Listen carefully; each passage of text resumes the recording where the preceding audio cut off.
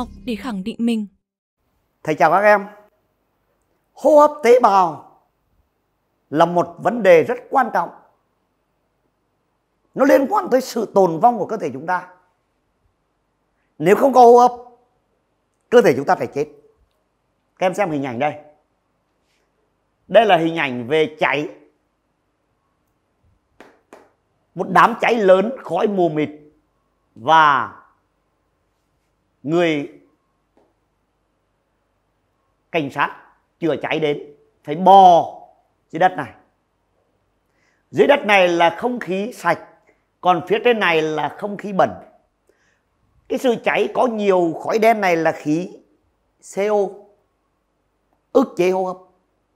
Cho nên là khi có đám cháy thì nạn nhân bị chết chủ yếu là do thiếu khí chứ rất ít trường hợp chết do bỏng, chết do nóng thì rất ít. Mà các vụ cháy gây tử vong khá nhiều, chủ yếu là do ngạt khí, do khí độc này. Do khí độc. Phải bưng mũi này để chạy, khí độc nó vào. Tại sao khi, khí độc này lại gây tử vong đối với con người chúng ta?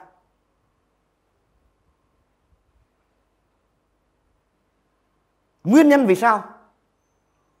Không khí có chất gì mà nó ức chế, làm chết con người chúng ta như vậy? Hoặc đây là một vụ đuối nước. Đuối nước. Dòng nước. Trẻ con, có người cứu. Đấy. Tại sao lại chết? Vì khi rơi xuống nước thì nước nó ngập vào mũi và vào phổi. Không hô hấp được. Đuối nước và cháy. Hai trường hợp này đều có đặc điểm giống nhau là nạn nhân không thể hô hấp được. Đuối nước thì không, nước bị ngập phổi, không hô hấp được. Vụ cháy tạo ra khí độc, nó gây ức chế hô hấp. Khí độc này nó vào, nó cướp đi các phần tử hemoglobin. Trong máu, làm cho hemoglobin không vận chuyển được oxy. Đồng thời, khí độc này gần như không có oxy. Sự cháy này nó lấy hết oxy đi. Nó thiếu oxy. Vừa thiếu oxy trong không khí, vừa khí CO này nhiều làm ức chế làm bất hoạt các cái hemoglobin trong trong máu. Làm cho máu không vận chuyển được oxy. Đấy cho nên đặc điểm chung của đuối nước và nạn nhân chết ở các vụ cháy, đặc điểm chung đó là hoạt động hô hấp bị gián đoạn và cơ thể không có năng lượng để sống, chết do không có ATP hôm trước chúng ta đã học cái bài 12 đấy là ATP là đồng tiền năng lượng của tế bào thì hôm nay chúng ta nghiên cứu. Như vậy, khái niệm về hô hấp tế bào. Hô hấp tế bào này là hô hấp diễn ra bên trong tế bào. Chúng ta lấy khí, lấy vào. Lấy khí vào này chỉ vào đến phổi. Từ phổi sẽ được đưa đến tế bào và trong tế bào sẽ có quá trình hô hấp tế bào. Tế bào sẽ chuyển hóa năng lượng, thế năng có trong các chất hữu cơ thành năng lượng ATP chuyển hóa như vậy để tạo ra ATP em hiểu chưa? Đấy, ok là như vậy. Cho nên là ta nắm thứ nhất là khái niệm về hô hấp. Về khái niệm hô hấp đó là hô hấp là một quá trình oxy hóa phương trình hô hấp đó là C6 H12 O6 cộng với oxy để tạo ra CO2 cộng nước cộng với năng lượng. Năng lượng thầy viết quy năng lượng ở hai dạng, đó là ATP là năng lượng được tế bào sử dụng cho quá trình tổng hợp, phân giải, co cơ, vân vân, và nhiệt năng. Nhiệt năng là năng lượng được thải ra ngoài và giúp sưởi ấm cho cơ thể. Hô hấp như vậy. Như vậy thì về khái niệm hô hấp tế bào, từ phương trình chúng ta biết ngay, đây là quá trình phân giải phân giải gluco thành CO2 nước và chuyển hóa năng lượng. Như vậy về hô hấp đó là quá trình phân giải.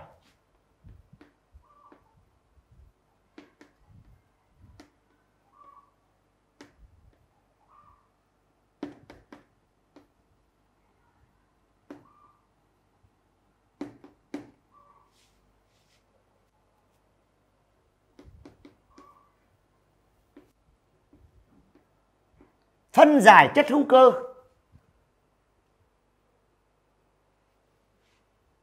Tạo ra CO2 nước. Và chuyển hóa năng lượng. Chuyển hóa năng lượng có trong chất hữu cơ thành ATP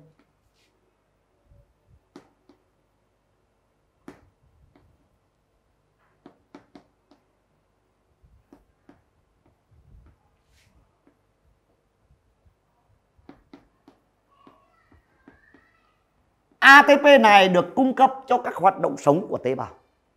Như vậy hô hấp là một quá trình vừa là chuyển hóa vật chất, chuyển hóa vật chất CO2, à, chất hữu cơ và oxy thành cái này và chuyển hóa năng lượng thành ATP nhiệt năng. Cho nên là cái quá trình hô hấp này là một cái quá trình dị hóa. Dị hóa Quá trình này vẫn cần có năng lượng ATP để kích hoạt cái giai đoạn đầu. Giai đoạn đầu tiên của hô hấp vẫn phải sử dụng ATP để kích hoạt. Sau đó rồi tạo ra sản phẩm này.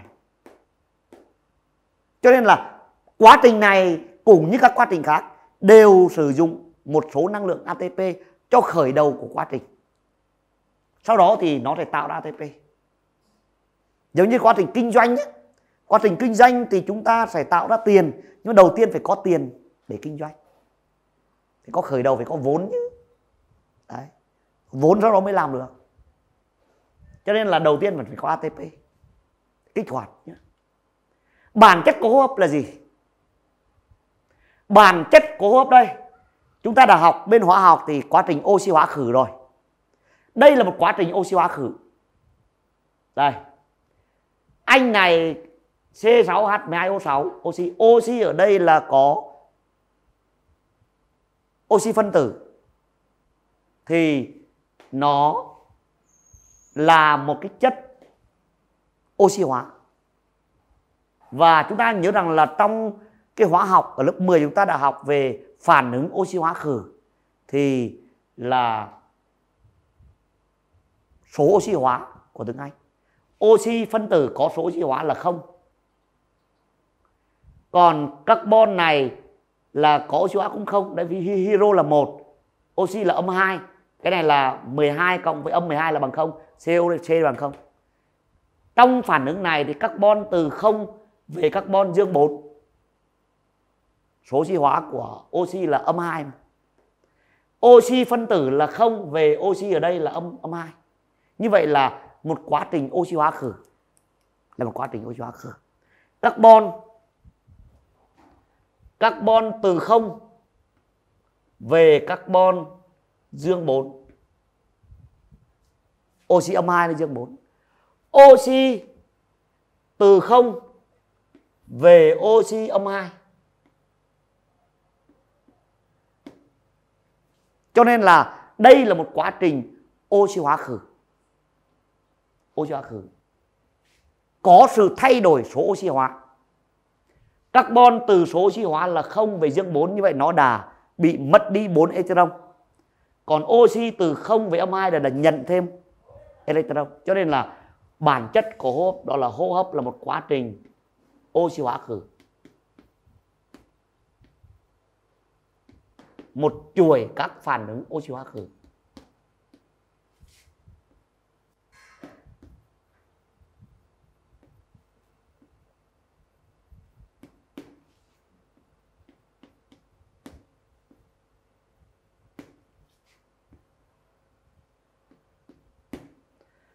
là một chuỗi các phản ứng. Không phải một phản ứng đâu.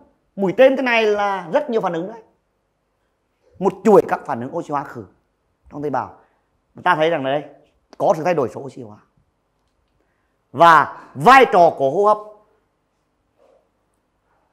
Vai trò thứ nhất là chuyển hóa vật chất. Đúng chưa? Vai trò thứ hai là chuyển hóa năng lượng trong vai trò chuyển hóa vật chất thì tạo ra các sản phẩm trung gian. Cho nên là hô hấp tạo ra các sản phẩm trung gian. Hô hấp tế bào tạo ra các sản phẩm trung gian. Sản phẩm thầy viết tắt là SP sản phẩm trung gian. Để tổng hợp các chất cho tế bào. Rất nhiều sản phẩm trung gian trở thành nguyên liệu cho quá trình tổng hợp các chất. Tạo ra sản phẩm trung gian cung cấp nguyên liệu. Các sản phẩm trung gian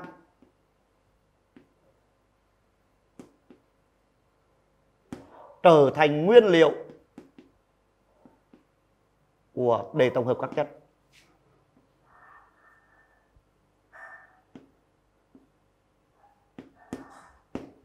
Trở thành nguyên liệu để tổng hợp các chất nhé.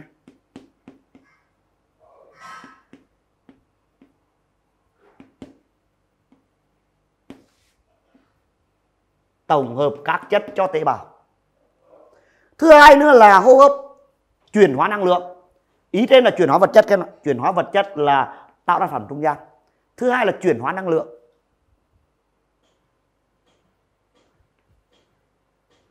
Chuyển hóa năng lượng này rất quan trọng đây. Đó là tổng hợp ATP chuyển hóa năng lượng để là gì? Để cung cấp ATP cung cấp năng lượng ATP cho tế bào hoạt động.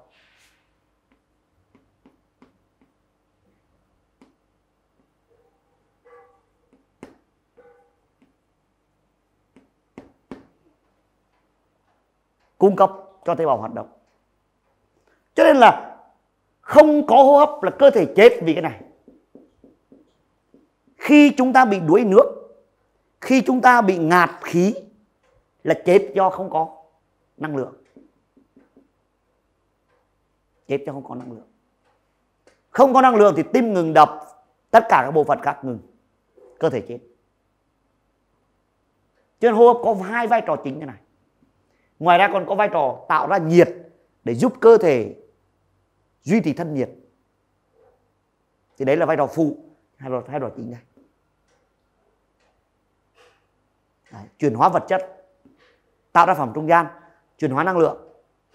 Cho nên hô hấp là một quá trình chuyển hóa vật chất và chuyển hóa năng lượng. Cho nên có hai vai trò như vậy. Chính vì điều này cho nên là nếu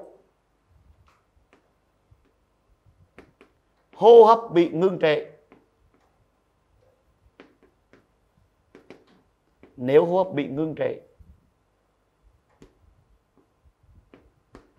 thì thì tế bào sẽ chết.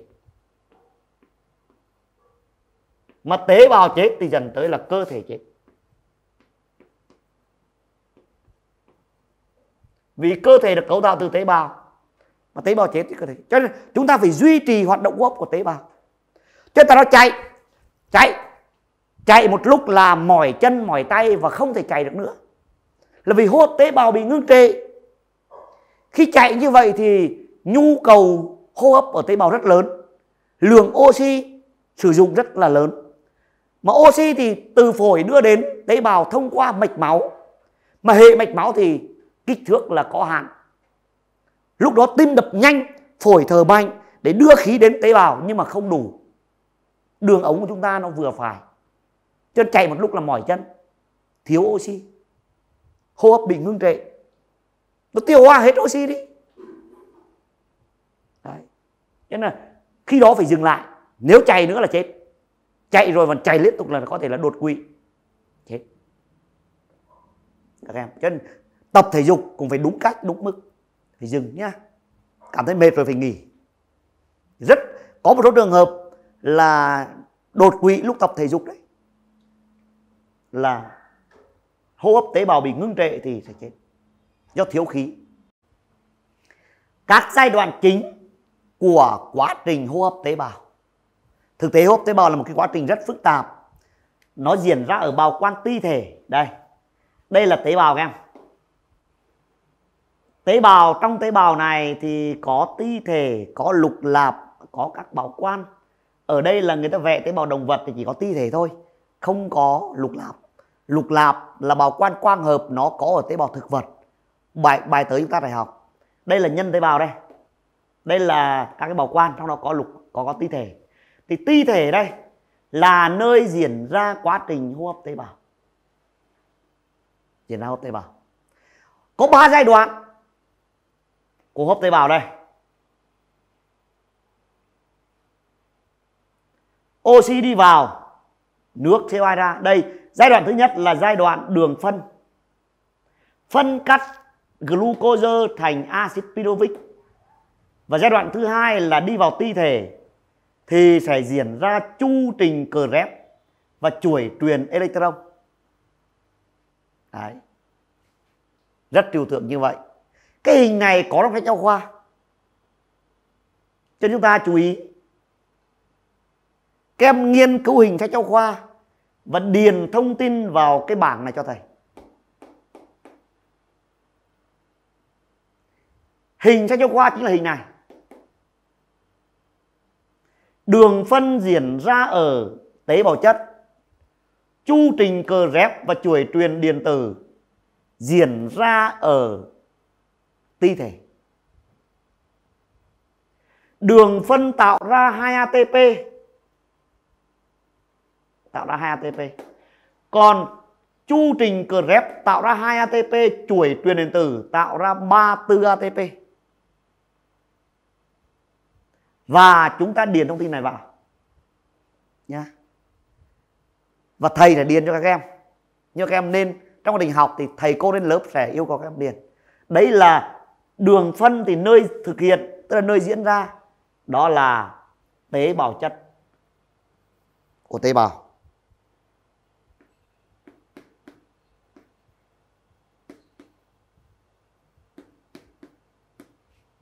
Chu trình cờ rép là do nhà bác học cờ rép phát hiện ra chu trình này. Chu trình này có rất nhiều phản ứng hóa học phức tạp. Chúng ta chỉ nắm khái quát thôi. Chu trình cờ rép và chuỗi truyền điện tử hay còn gọi là truyền truyền electron là diễn ra ở ti thể. Đây là diễn ra ở chất nền ti thể.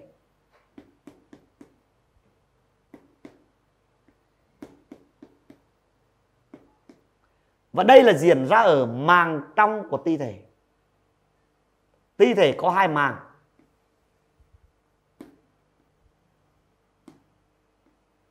Ở trong cái bài cấu tạo tế bào nhân thực. Chúng ta học về bào quan ti thể là nơi diễn ra hoạt động hô hấp của tế bào. Ti thể có hai màng màng ngoài và màng trong. Thì chuỗi truyền electron này diễn ra ở màng trong của ti thể. Nguyên liệu để thực hiện đường phân, đó là phải có đường.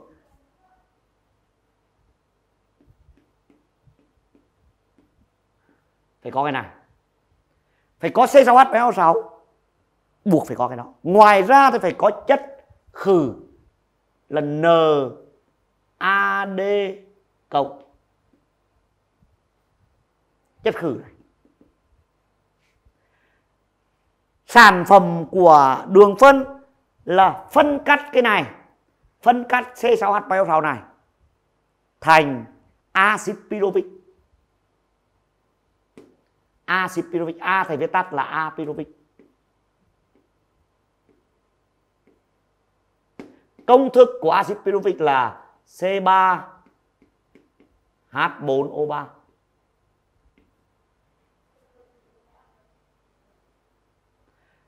NAD cộng này sẽ tạo ra sản phẩm là NADH.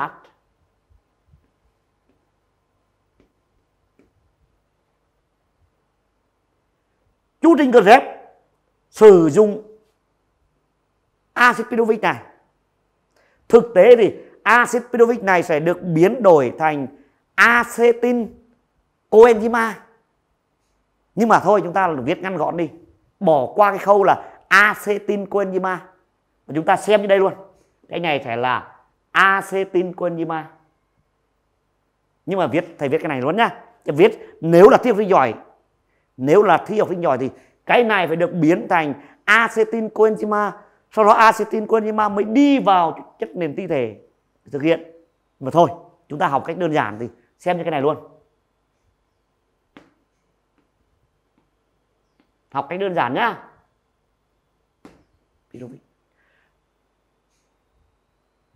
Và đương nhiên, chất nền ti thể cần phải sử dụng chu trình Grep cần phải sử dụng là NAD cộng. Và FAD cộng.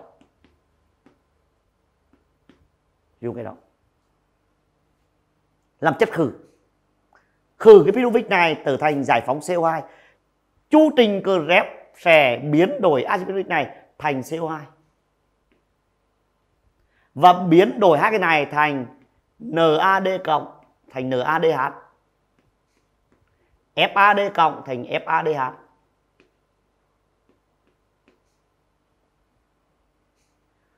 và màng trong của ti thể này là nơi diễn ra chỗ truyền này. Thì sử dụng NADH FADH NADH sử dụng cái này. Tất cả cái này. Nguyên liệu là NADH FADH và oxy. Như vậy oxy là tham gia vào chuỗi truyền E.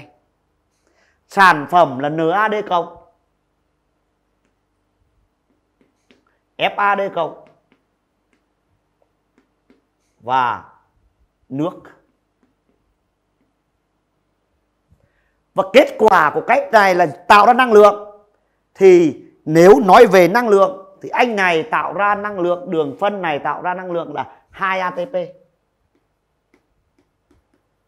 chu trình krebs này tạo ra 2 ATP còn chuỗi truyền electron này tạo ra 34 ATP nói về năng lượng như vậy. Tất nhiên, quá trình là quá trình chuyển hóa vật chất cho nên người ta không đưa năng lượng vào. Mà người ta chỉ nói là nơi thực hiện nguyên liệu sản phẩm là nói về chuyển hóa vật chất. Thì các em biết rằng là vì cái quá trình chuyển hóa vật chất thế này cho nên trả lời rất nhiều câu hỏi khi chúng ta học để bồi dưỡng học sinh giỏi. Đó là tại sao không có oxy? Không có oxy này thì chu trình cờ rép không diễn ra. Đấy, đường phân cũng không diễn ra. Đường phân vẫn có thể diễn ra không có oxy, theo con đường lên men. Không có oxy thì đường phân để diễn ra theo đường lên men. Nhưng chu trình cờ rép không diễn ra. Không có oxy thì chu trình Krebs không diễn ra. Mà không có oxy thì tế bào thì thực hiện theo đường lên men. Vì sao lại như vậy? Đấy là những câu hỏi rất là khó. Hoặc là mối quan hệ giữa chuỗi truyền điện tử với chu trình Krebs là thế nào ta nhìn thấy đây chuỗi truyền điện tử sử dụng hai cái sản phẩm này này của chu Đình Grab.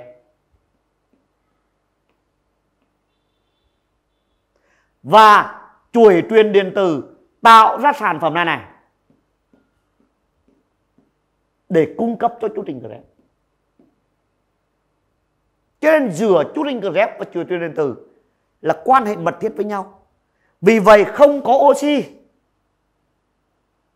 thì đương nhiên là chuỗi truyền điện tử không diễn ra vì oxy là nguyên liệu của nó nhưng không có oxy thì chu trình cờ rép cũng không diễn ra vì không có hai cái nguyên liệu này hai nguyên liệu này lấy từ sản phẩm của chú trình cờ rép à, là chuỗi điện tử.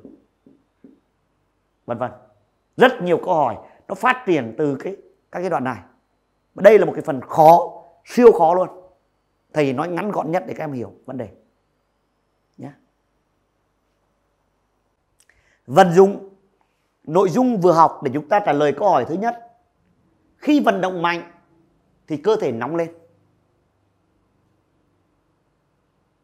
Chân chúng ta là ngồi làm việc, tư duy là mồ hôi ra. Khi nóng lên thì cơ thể phải ra mồ hôi để giảm bớt nhiệt. Chúng ta ngồi học, tư duy cao độ là mồ hôi ra. Mà ở đâu là mồ hôi ra nhiều nhất biết không? Cơ thể người chúng ta nơi ra nhiều mồ hôi nhất thường là ở trên đầu. Trên đầu là nhiều mồ hôi. Là vì đầu là tư duy liên tục. Rất nhiều mồ hôi ngồi thế này không làm gì cả. À, không, không, không vận động mạnh nhưng mà não tư duy. Ngồi và não tư duy thì mồ hôi vẫn ra ở đầu. Em hiểu chưa? Cho nên là vận động mạnh thì cơ thể sẽ nóng lên là vì sao? Ta xem đây.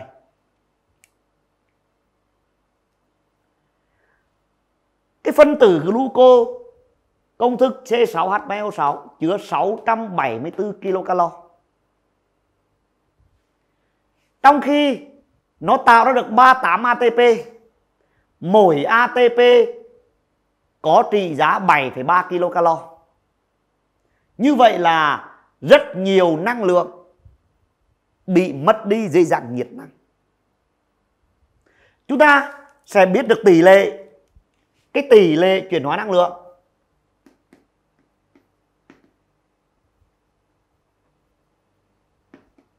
tỷ lệ chuyển hóa năng lượng sẽ bằng 38 ATP mỗi ATP là 7,3 kcal chia cho 674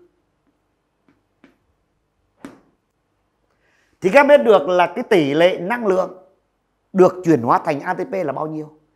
Số năng lượng còn lại là nhiệt năng. Nhiệt năng nhiệt năng sẽ bằng. Khi phân giải một mol glucose thì nhiệt năng sẽ bằng tổng năng lượng. Trong một mol glucose, trừ đi tổng năng lượng, có trong 38 ATP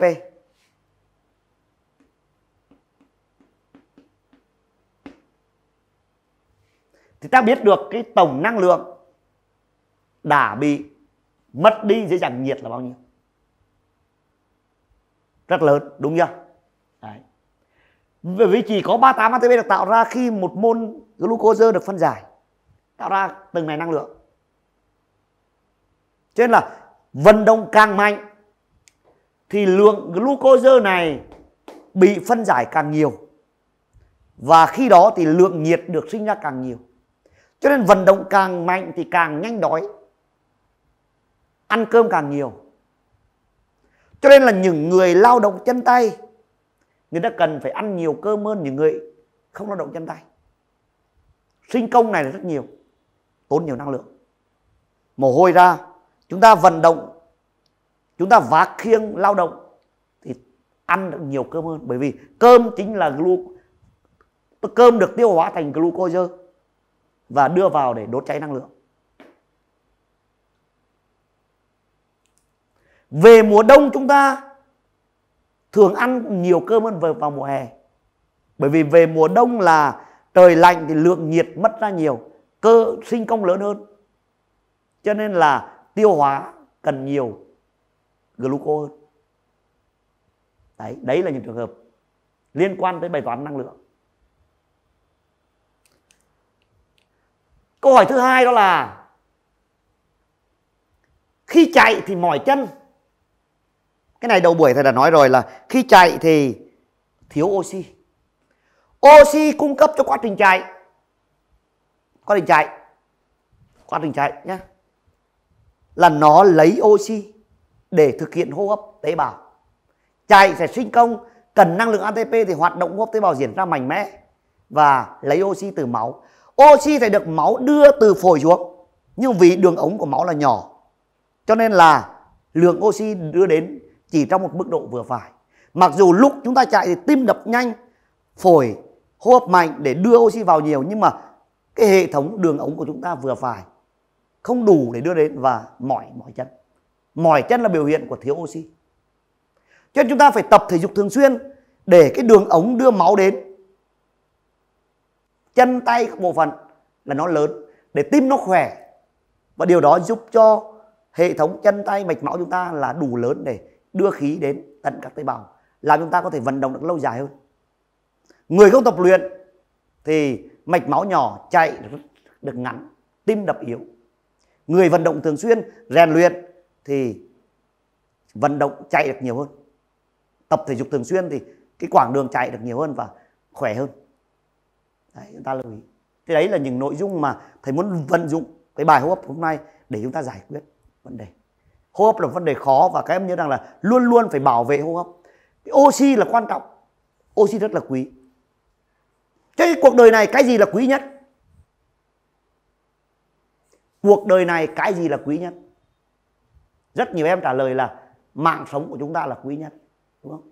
Nhưng mạng sống phụ thuộc cái gì? Mạng sống phụ thuộc vào ăn.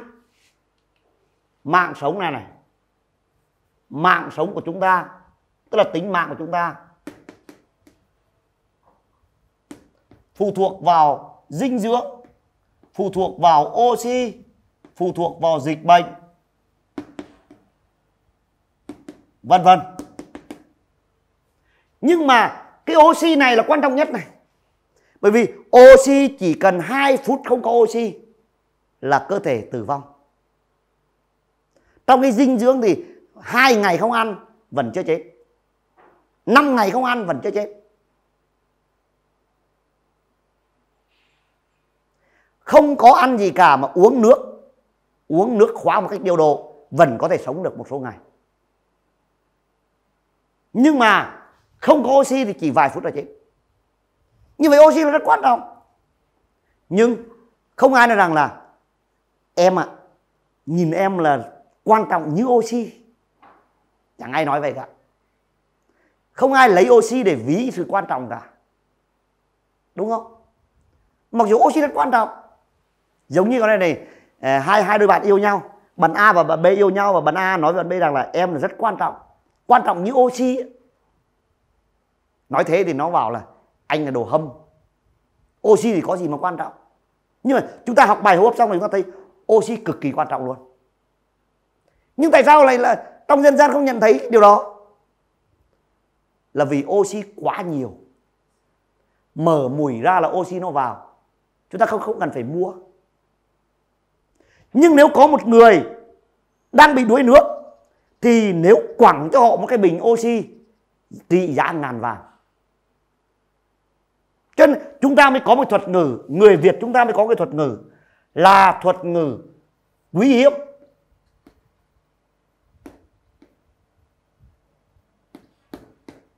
Quý hiếm là một từ ghép.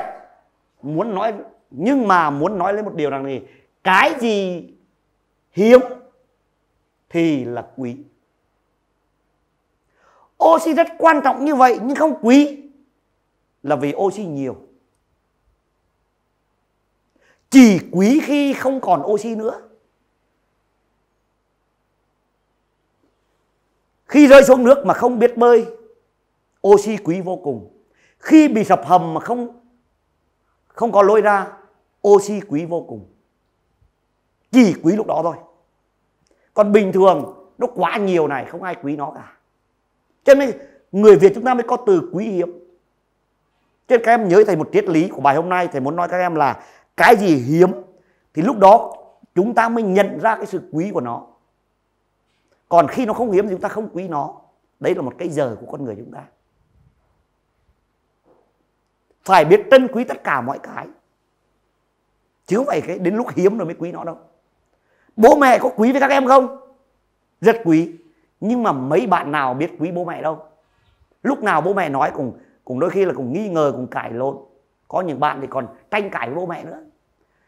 Nhưng mà khi không may bố bị mất đi không may mẹ bị mất đi mồ côi bố mồ côi mẹ có một, một vài bạn như vậy thì bố mẹ quý vô cùng khi không còn bố mẹ trên cuộc đời này nữa thì các em mới biết quý.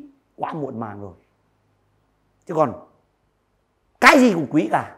Nhưng mà người việt chúng ta chỉ quý khi nó hiếm. Khi nó không còn hoặc là sắp không còn nữa. Em thấy không? Tiền có quý không? Chỉ quý không khi không có tiền. Chỉ quý khi nào mà cần dùng tiền cho việc gì đấy mà lại không có tiền thì đấy mới quý. Chứ còn bình thường bình thường. Nó đầy rẫy đấy thì nhà càng giàu thì càng không quý tiền. Cho nên chúng ta chú ý, từ quý hiếm. Cho nên bài hôm nay chúng ta biết rằng là oxy là cực kỳ quan trọng. Thế nhưng, thế giới chúng ta không biết trân quý nó. Chỉ khi nào thiếu rồi mới biết quý. Và muốn có oxy thì phải bảo vệ cây rừng, phải trồng cây. Cho nên cái việc trồng cây, việc bảo vệ rừng đấy chính là việc cung cấp oxy. Và nội dung đấy chúng ta phải học ở bài quang hợp, bài sắp tới. Quang hợp tạo ra oxy, với cho chúng ta để hoạt động hô hấp. Hẹn gặp lại các em ở bài quang hợp.